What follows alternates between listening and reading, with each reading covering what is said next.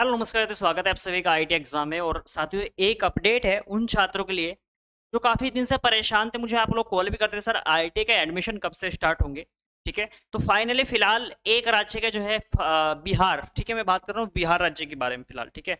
अभी पूरी जानकारी दूँगा बाकी जो स्टेट है, उनके कब आएँगे, है ना? बिहार की मैं बात कर रहा हूँ, इसके जो आईटीआई के जो फॉर्म है आईटीआई एडमिशन के, इसके आईटीआई एडमिशन के फॉर्म स्टार्ट हो चुके हैं, पंद्रह तारीख से। ठीक है यानी कि पंद्रह अप्रैल से जो फॉर्म स्टार्ट हो चुके हैं। अब मैं इसमें आपको क्वालिफिकेशन ही बताऊँगा क्या क्या चीज़ें आपको कब पढ़नी होंगी किस बेस पर ही सिलेक्शन लेंगे। ठीक है ये प्योर एक सरकारी एडमिशन होने वाला है क्योंकि आप लोग जानते होंगे आई में क्या होता है प्यारे साथियों?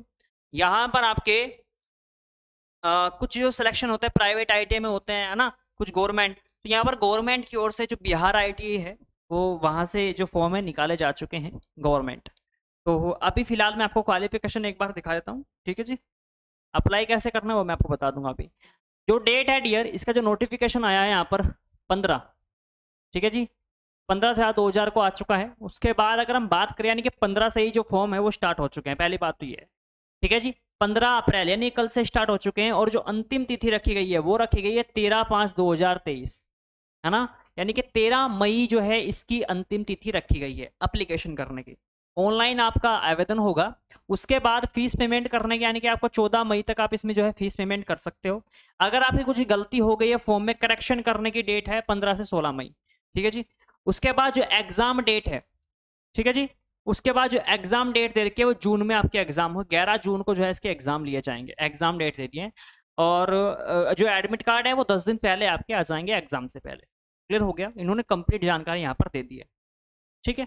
उसके बाद अगर मैं बात करूँ फ़ीस पेमेंट की तो जितने भी यहाँ पर जनरल और ओबीसी वाले छात्र हैं और ईडब्ल्यूएस e वाले छात्र, उनके लिए यहाँ पर साढ़े सात सौ रुपये रखा गया है फ़ीस का क्राइटेरिया। एस सी के लिए हंड्रेड रुपीज़ है है ना?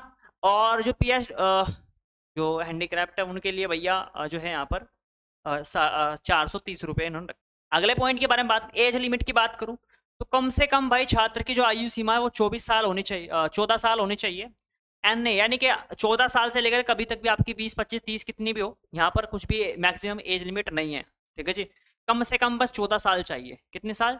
चौदह साल की आपकी कम से कम उम्र होनी चाहिए, ठीक है जी? आयु सीमा उन्होंने ये दे दी। उसके बाद मैं बात करता हूँ यहाँ पर आपकी क्राइटेरिया की। आपको जो है यहाँ पर आपको क्या क्या क्वालिफिकेशन आपके पास होनी चाहिए? इन्होंने कहा है कि सिर्फ़ टेंथ होनी चाहिए, है ना? टेंथ होनी चाहिए मैथ एंड साइंस आपके पास होना चाहिए सब्जेक्ट टेंथ में। उन्होंने ये मांग रखा है, ठीक है जी? आपके पास टेंथ होना चाहिए। टेंथ में आपके पास क्या होना चाहिए? मैथ से और साइंस से आपकी जो है टेंथ होनी चाहिए। तब जाकर आप इस चीज़ के लिए फॉर्म भर सकते हो। ठीक है? कोर्स नेम दे सकते हो यहाँ पर। यहाँ पर आई मतलब आई एडमिशन है, सिंपल है, बात तो वो है। उसके बाद अगर मैं बात करूँ अगले पॉइंट के बारे में, यहाँ पर आपको क्या क्या चीज़ें पढ़नी पड़ेंगी, डियर? तो देखो, इसका क्या होता है, डियर? इसका मेरिट बेस पर नहीं, इसका एग्ज़ाम होता है। मैंने एग्ज़ाम डेट ही बता दी। एग्ज़ाम में आता है क्या है? एग्ज़ाम में सिर्फ़ आपका वही टेंथ लेवल का आता है। है ना? जो आपने टेंथ में पढ़ाई सिर्फ़ वही आता है। टेंथ में क्या आता है? एक तो आपका मैथ आएगा। मैथ आएगा। एक आपका जी जीएस आएगा। ठीक है जी? जनरल साइंस एक आएगा आपका जीके पचास पचास नंबर के आपके आएँगे। सॉरी पचास पचास क्वेश्चन आएँगे। ठीक है जी? एक क्वेश्चन दो नंबर का होगा, यानी कि टोटल कितने क्वेश्चन हो गए डेढ़ सौ क्वेश्चन कितने नंबर के होंगे? तीन सौ नंबर के आपके जो है ये यहाँ पर होंगे। अब जो छात्र इसमें अच्छा प्रदर्शन करेगा, है ना, उसकी मेरिट अच्छी बनेगी। पदों की अगर मैं बात करूँ तो लगभग लगभग जो पद निकाले गए हैं वो बत्तीस हज़ार पद से प्लस हैं, है ना, बत्तीस हज़ार पद प्लस हैं इसमें। ठीक है जी? बत्तीस हज़ार प्लस पद हैं इसमें, जो आपकी अब की बार उन्होंने निकाली। पिछली बार जो वैकेंसी निकली थी, है ना, जो पिछले साल की जो आई एडमिशन है उसमें पच्चीस हज़ार पद थे, और अब की बार यहाँ पर बत्तीस हज़ार पद हैं। ठीक है जी? तो ये यहाँ पर क्राइटेरिया रहने वाला है एग्ज़ाम डेट मैंने बता दी। अब तैयारी कहाँ से करोगे? देखो, पहली बात तो ये आपके पास जो आपका टेंथ आपने सबने कर रखे होगी। आपके पास जो साइंस की बुक होगी, ठीक है? थोड़ा जनरल जीके की थोड़ा सा पढ़ लेना जीके वगैरह। बेसिक जीके आएगा आपका। बेसिक जीके के बारे में आपको जानकर, ज़्यादा हाई लेवल का नहीं आने का जीके वगैरह। बेसिक जीके जो होता है आपका, वो पढ़ लेना थोड़ा। और उसके बाद आपकी जो दसवीं की साइंस है, एक वो पढ़नी है और दसवीं का मैथ ठीक है जी? वही आपके एग्ज़ाम में पूछा जाएगा। ठीक है जी? तो ये बिहार एडमिशन का फॉर्म है। बाकी जो अन्य स्टेट के होंगे, जैसी अपडेट आएगी, आप लोग को सूचित कर दिया जाएगा। ठीक है चैनल के माध्यम से तो और, आप लोग जानते होंगे, हम भी आई एग्ज़ाम की तैयारी करवाते हैं, लेकिन हम एंट्रेंस एग्ज़ाम की तैयारी नहीं करवाते। हम आपके मेन जो एग्ज़ाम होता है आई के, मान लीजिए आपने एडमिशन ले लिया है एडमिशन के बाद फिर हम तैयारी करवाएँगे। आपको जो भी ट्रेड मिलेगी, जैसे मान लीजिए इलेक्ट्रिशियन हो गया फिटर हो गया, जो भी आपको, आपकी परसेंटेज के हिसाब से जो भी ट्रेड आपको दी जाएगी, उसी के भी आप पर आप लोग की तैयारी करेंगे। चैनल के साथ जुड़े रहना, जो भी आपके भाई, दोस्त, साथी जो भी होंगे आई में एडमिशन लेना चाह रहे होंगे या फिर आई में एडमिशन के लिए उन्होंने अप्लाई मतलब करना चाह रहे हैं आई और जब आपका सिलेक्शन भी हो जाएगा तो आपके लिए हमारा चैनल बहुत ज़्यादा बेनिफिट देने वाला है, क्योंकि नाम भी भाई आई एग्ज़ाम है तो आईटीआई एग्ज़ाम तो भाई आई एग्ज़ाम है। तो चलो फिर एक और सबसे ज़रूरी चीज़ मैं आपको बताना चाहता हूँ, देखो ध्यान रखना, अगर आप एडमिशन मान लीजिए आपका सिलेक्शन भी होता है, क्या जी, क्योंकि बत्तीस हज़ार पद हैं इसमें, और अगर आपका सिलेक्शन भी इसमें मान लीजिए हो जाता है, लेकिन एक दिक्कत है डियर जो सबसे बड़ी चीज़ होती है आई आई में एडमिशन तो आपने ले लिया, जो सबसे बड़ी चीज़ होती है होती है आपकी ट्रेड का, ठीक है? वो क्या होती है आपकी ट्रेड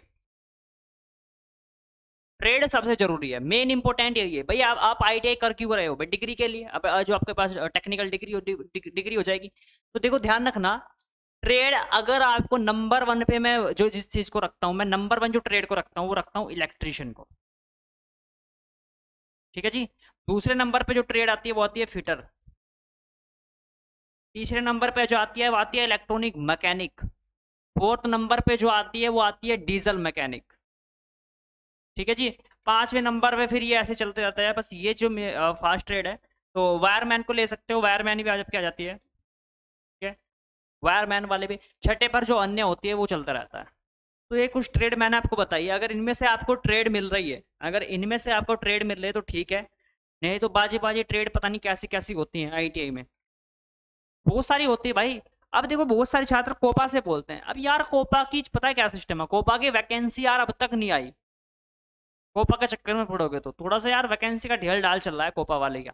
वैकेंसी नहीं देने में दिक्कत कर रहे हैं। तो थोड़ा ट्रेड का रखना। आपका जो एग्ज़ाम होने के बाद जब आपकी लिस्ट लगी, हालाँकि मैं एक वीडियो बना भी दूँगा, उससे पहले कभी आप मामला गड़बड़ कर दो। एग्ज़ाम दो एडमिशन लो, कोई दिक्कत नहीं। लेकिन ये जो ट्रेड है ना ट्रेड का सबसे ध्यान रखना डियर ट्रेड सबसे ज़रूरी चीज़ होती है। जो वैकेंसी निकलती है, इन्हीं कुछ ट्रेड पर, चुनिंदा ट्रेड है जिन पर निकलती है। ठीक है जी? और ध्यान रखना प्राइवेट आई वैसे तो एडमिशन सभी स्टेट में शुरू भी हो चुके हैं। वैसे तो बहुत सारे आई एडमिशन है मेरे पास भी आते हैं, कि एडमिशन स्टार्ट हो चुके हैं, बच्चों के करवाना चाहो तो। तो देखो, ध्यान रखना, बहुत सारे कॉलेज हैं जो आईटीआई एडमिशन स्टार्ट कर चुके हैं तो आपको ध्यान रखना है प्राइवेट अगर चक्कर में पढ़ोगे ना, थोड़ा सा तो इस चीज़ के ध्यान रखना कि वो एन से हो एससीबीटी से ना हो। एस से बिल्कुल भी आपको आई नहीं करनी आपको सिर्फ़ एन को ही टारगेट करके चलना है। वो चीज़ क्या होती है, मैं आपको एक वीडियो क्रिएट करूँगा, अगली वीडियो में बता दूँगा एनसीबीटी एससीबीटी और क्या आपको ट्रेड करना चाहिए एक एक पर्टिकुलर वीडियो बनाऊँगा बिहार फ़िलहाल हम इस चीज़ की बात कर रहे हैं जो आपका ये फॉर्म निकले हैं बिहार वाले, ठीक है?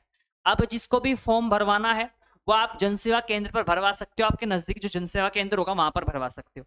अगर आपके पास जनसेवा केंद्र नहीं है आपके आसपास, ठीक है?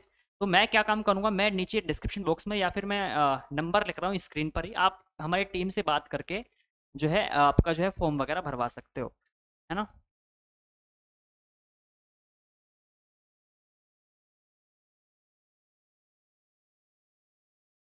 ये नंबर है हमारी टीम का। ठीक है जी? आई टीम का है। इनसे आप जो है कॉल करके आईटीआई जो फॉर्म है, वो यहाँ से फिलअप करवा सकते हो, उस चीज़ का फॉर्म ठीक है जी? तो ये चीज़ आपको यहाँ पर पता लग चुकी होगी।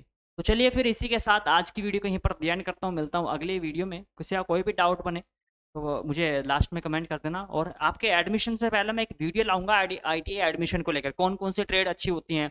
एनसीबीटी एससीबीटी क्या है? कहाँ पर एडमिशन लेना चाहिए? फ़ीस क्राइटेरिया क्या होता है? गवर्नमेंट या प्राइवेट में क्या क्या सुविधाएँ मिलती हैं? एग्ज़ाम कैसे होता है? तो सब चीज़ें मैं आपको बताऊँगा।